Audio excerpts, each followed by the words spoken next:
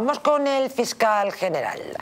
Eh, García Ortiz silencia el debate contra la amnistía en el último pleno ordinario del año del Consejo Fiscal. El último pleno ordinario va a tener lugar eh, el próximo miércoles, que va a ser día 20 de diciembre, y claro, bajo la batuta del recién renovado en su cargo Álvaro García Ortiz.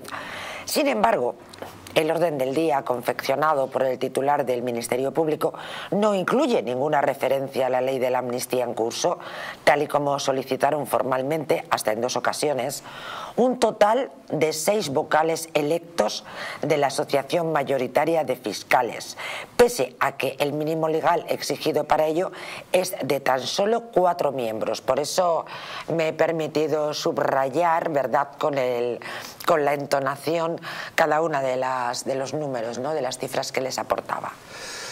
Hombre, yo, yo, creo que, eh, vuelvo, vuelvo, a lo mismo, a lo que estaba antes comentando, que me parece pues eso, pecaminoso que tengamos que, es que mm, seguir hablando de, de una cosa que es tan sumamente ¿Ustedes eh, recuerdan de, podrían imaginarse lo que estamos viviendo y de lo que estamos hablando actualmente hace 10 años? Ya no le digo hace 30, sino hace 10 años.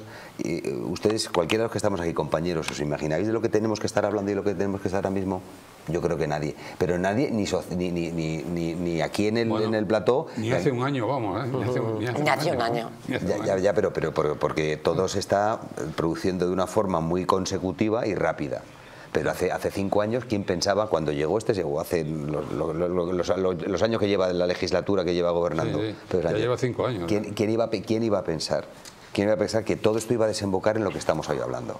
Es decir, hoy día, por la mañana, da miedo abrir un periódico. Perdona. Da, miedo abrir un periódico. Perdona. Escucha, salvo, yo, ya digo que leo dos, porque yo no tengo tanta capacidad de leer varios y tal, y aparte yo no soy periodista, y, pero, pero, pero digo, yo es que mm, llega un momento en que digo, es que me da hasta miedo incluso ver los titulares de hoy. Bueno, pues pierda el miedo y enfréntate a él. Perdónate, esa, esa opinión que tú acabas de decir ¿Tú has hablado con los venezolanos que han venido a España y sobre todo a Madrid? Sí, ¿Tú has hablado con ellos? Ciudadanos que vienen del futuro, ¿no? Y tú, no, y tú, y tú no nos has oído decir lo mismo que acabas de decir tú. ¿Quién se iba a imaginar que Chávez iba a hacer eso? Si nosotros no le votamos, si nosotros, gente rica, gente preparada, gente con cierto nivel, no la, digamos, no la chusma bolivariana, no, la gente que eran eh, muy consolidados, un país rico y tal, nosotros le votamos porque creíamos que ya estaba bien de corrupciones de los partidos anteriores y pensamos que, ¿cómo íbamos a imaginarnos esa esa, esa, definición, eso es lo que acaba de decir, eso lo dicen los venezolanos. Hace, eh, fíjate el resultado, 8 millones de, ¿cuánto? 8, 7 millones de personas que han tenido que emigrar de todos los niveles. Y muchos están aquí en España. por favor. Y muchos están aquí en España. Eso es lo que tenemos que evitar. Eso es lo que tenemos que evitar. Quiere decir que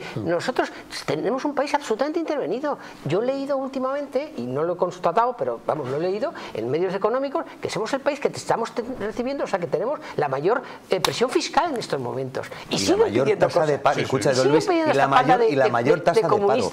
Pero, pero, y la mayor tasa de paro. Y la mayor más tasa de que, paro de... Más que Grecia, que siempre teníamos ahí detrás de nosotros a Grecia y nos quedábamos como que no éramos los últimos. Pues la mayor tasa de paro. O sea, todo ese tipo de cosas. Cuando un, un gobierno tiene el CIS, el, y me voy a quedar corto, ¿eh? el CIS, el Tribunal Constitucional, el Fiscal General del Estado, Radio, Televisión, y ahora mete en F, encima mete a su amigo del alma, que es el, Miguel Ángel Oliver, que es un... bueno, no, no quiero Oye, ¿y por qué no lo cambió el nombre F? Porque la F sabe dónde viene. Sí, sí, lo va a cambiar, no te preocupes, se va a poner S, agencia S, probablemente. Eh, quiere decir, todos esos, esos eh, organismos estatales los controla directamente el gobierno, con gente muy militante, muy militante. Es decir, entonces por eso te digo que no podemos tener, no podemos caer en la tentación de... De, de, caer en la, en la dejadez. Exacto, tenemos que estar peleando todos los días, por mucho miedo que nos dé, por mucho eh, pereza que nos dé, tenemos que estar batallando todos los días, pero no por nosotros, sino por nuestros hijos y por nuestros nietos. Który to